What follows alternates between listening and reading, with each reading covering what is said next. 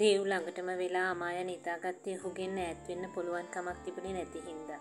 ඒත් ඒ ලංවීම අමායගේ හිතේ පළමු වතාවට දේව් ගැන හැඟීමක් ආදරයක් ඇති කරන්න සමත් වුණා. දඩප්පර ඒ හිතේ ඇයට ඉඩක් තිබුණත් නැතත් අමාය දැන් හිතුවක්කාර නපුරට ආදරය කරන්න අරන් ඉවරයි. ඇගේ එක අතක් ඔහුගේ පපුවට මැදිවෙද්දී අමාය අනෙක් අතින් දේව්ගේ රැලි ගැන්වුණු කෙස් අතරේ ඇඟිලිත් දුඩු දිවෙව්වා. හිතපු නැති දවසක අඳුරන්නේ නැති ඔයාගේ නෝන වෙන්න මට වුණා තමයි. ඒත් එදා ඉඳන් මං ඔයාගේ නෝන වුණා දේව්. ලං වෙලා ඔයා දිහා බලලා ඔයාගේ පපුවට හේතු වෙන්න බැරි වුණත් මං ඔයාගේ නෝන වුණා. ඔහුගේ මූණ දිහා බලාගෙන අමාය කිව්වේ හදවතින්මයි. මං තාත් තව වර්ධවා වටහගෙන හිටිය වගේ ඔයා ගැනත් වැරදිට හිතන්නේ නැහැ දේව්. මේ බැඳීම මං ජීවත් වෙනකල් තියාගන්නයි මට ඕනේ. ඔයා කවද මාව ඔයාගේ නෝන විදිහට පිළිගනීද දන්නේ ඒත් ඒ දවස එනකල් මං බලන් ඉන්නවා. අමාය ඒ මූණ දිහාම බලාගෙන හිතුව හැඟීම් බරව. රෑ කීයට නින්ද ගියාද නොදැන අමාය ඒ පපුවේ හිස තියාගත්තා. මේ මේ මොකද මේ? මං ඊයේ කෙල්ලෙක්ක ගැස්සිලා ඇහැරුණු දේව් තමුන්ගේ අතට මැදි වෙලා නිදාගෙන ඉන්න කෙල්ලව දැකලා පුදුම වුණා. ඊයේ තමුන් බංගලාවට ආව හැටිවත් මතක නැති දේව් හිතුවේ ඊයේ රෑ තමුන් කෙල්ලත් එක්ක වැරදි විදිහට හැසිරෙන්නේ නැති කියලයි. ඒත් කොහොමද මං එච්චර අන්කයාෆුලි උනේ? නෑ නෑ නෑ. එහෙම වෙන්න විදිහක් නෑ. මට කෙල්ලට එහෙම කරන්න බෑ. දේව්ගේ මුළු හිතම එක වේගෙන් කැළඹෙන්න පටන් ගත්තා. හිමීට කෙල්ලව කොට්ටෙන් තියලා දේව් ඇඳෙන් බහින්න හදද්දිම කෙල්ලගේ ඇස්පියන් ඇරුණා. ඒ වෙලාවේ නම් අමායට වඩා ලැජ්ජාවක් දේව්ගේ මූණෙන් මතුවුණා. මොකද හොම් බලන්නේ? දේව් මූණ පැත්තට හරවන් කෙල්ල දිහා නොබලම අහද්දී කෙල්ලගේ මූණේ ඇඳුනේ සියුම් මදහසක්. ඔයා ඇයි මට එහෙම කතා කරන්නේ? අමාය ඇහුවේ හැමම ඇඳ විට්ටමට හේතු වෙලා. නැතුව කොහොම කතා කරන්නද? දේව් හිතාමතාම කෙල්ලගේ හිත රිදෙන විදිහට කියද්දිත් කෙල්ල බලන් හිටිය අහිංසක විදිහට. මං ඊයේ ආයනකල් ගොඩක් වෙලා බලන් හිටිය දේව්. ඉතින් මං කියලා නෑනේ කාටවත් මං එනකල් බලන් ඉන්න කියලා.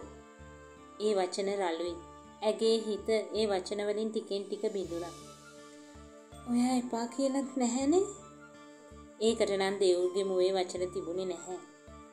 ඕනේ නම් දානෙට ගෙදර ආවහම ගෙදර යනවා. නිහඬව හිටපු දේව් එහෙම කිව්වම අමායගේ මූණ ඇකිලිලා ගියා. මං හිතුවේ දැන් මගේ ගෙදර මේක කියලා. ඇය අඬන්න වගේ කිව්වා. මං කිව්වේ නෑනේ එහෙම හිතන්න කියලා. ඇයි එහෙම කියන්නේ? හට බැරිද චුට්ටක් නපුරු නැතුව කතා කරන්න. ඇගේ කිබිඳුම බලාගෙන ඉන්න බැරි නිසාම දේව් කාමරෙන් යන්න ලෑස්ති වුණේ වචනයක්වත් නොකිය. දේව්ට උවමනා වුණේ නැහැ ඒට ඇහුම්කම් දෙන්නවත් අනුකම්පාවක් පෙන්වන්නවත්. මං කොහොමත් එහෙමයි. ඒ මගේ හැටි. දේව් නැවතිලා එහෙම කියද්දී අමය හිමීට ඔහුගේ සමීපයට ආවා. හරි. කමක් නැහැ. දැන් අපි යන්නේ එක ගමනක් නේ. ඉතින් ඔයාට බැරිද වෙනස් වෙන්න? අමාය ඒ තරදඩු අත්තල එල්ලෙමින් අහද්දී දේව් ඇගේ තෙවුරින් තතින් අල්ලගත්තේ කිටි කිටියේ. වෙනස් වෙන්නවත් එකට ගමනක් යන්නත් මං කැමති නෑ. තමසට ඕන්න යනවා. කියලා ආවේගයෙන් කියපු දේව් කෙල්ලව පැත්තකට තල්ලු කරලා පහලට ගියේ නොසන්සුන්ව. අමාය ඇඳ පාමුල බිම වැටිලා වේදනාවෙන් නිකිබින්දා. තුවාලයක් වෙලා ගතට දැනෙන රිදුමට එහා ගියපු රිදුමක් ඇගේ හිතට දැනුණා. දේව් වේගයෙන් පහලට එද්දී කමල බැලුවේ වික්ෂිප්තව. කමල මට දෙහි එකක් හදලා දීපන්. කියාගෙන ගිහින් දේව් වැරැන්ඩ එකේ තිබුණු දිග ඇඳි පුටුවේ වාඩි වුණා. ටික වෙලාවක් යද්දී කමල දෙහි එකකුත් හදාගෙන ඇවිත් දේව්ට කතා කෙරුවේ ඔහු දෝතින්ම ඔළුව බදාගෙන හිටපු හින්දා. ඇයි මහත්තයෝ? මුකුත් නෑ කමලා ඔළුව පැලෙන්න වගේ.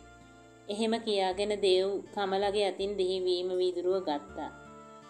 නෝනෙත් ඊයේ දවල් ඉඳලා ඔය කාලත් නෑ. මම් බලෙන් වගේ හදලා දුන්නු කෝපි කෝප්පේ විතරයි. කමලා කියද්දි දේව්ට බීපු දෙහි උගුරත් පිට උගුරේ ගියා.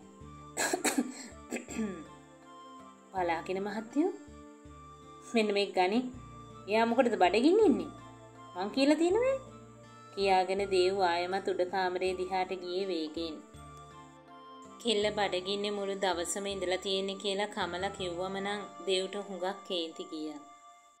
අමායා කෙල්ල එහඩින් ආයෙමත් ගැස්සුණා. ඇයි ඊයර කෑවේ නැත්තේ? කෙල්ලව දැක ගමන් දෙව් ඇහුවේ යක්ෂා වේස වෙලා. කෙල්ලත් ඒ මූණ දිහාම බලන් හිටියේ බය වෙලා වගේ. අපිකට උත්තර දෙනවා. අමායගේ මූණ රතු වෙලා ගියා. බඩගිනි තිබුණේ නැහැ. ඇයි ගල් ගිලලද? අනේ ඇයි ඔහොම කතා කියන්නේ? දේව්ට වචන නිරුත්තර වුණා. කෙල්ලගේ ඇස්වලින් කඳුළු බොර වුණේ දේව් බලන් ඉද්දිමයි. මට කවවත් නලවන්න බෑ. කියලා දේව් කියද්දී ආමය තවත් දුක් වුණා. කවදාවත් කෙල්ල දිහා බලන් දඩප්පර වචන කියන්නේ කියලා හිතට තරවටු කරලා තිබුණත් කෙල්ල ඉස්සරහ නොපෙන ඉන්න දෙව්ට බැරි වුණා. ඒ ඇස්සල කඳුළු බේරෙද්දී රතු වෙන කම්මුල් දිහා බලන්නත් දෙව්ට බැරි වුණා. දේව් ආයෙම පහළට ගියේ කේන්තියෙන්මයි. අම්මයට අම්මව මතක් වුණේ ඉබේටම. "ඇයි අම්මේ යාමට එහෙම කරන්නේ? මොකද්ද මං යාට කරපු වැරැද්ද?" අමායගේ හිතත් එක එක සිතුවිලි වලින් පිරුණත් ඇය අමාරුවෙන් ඒවා ඉවසගෙන පහළට ආවේ දේව් වෙරැන්ඩාවේ ඉන්නවා දැක දැක.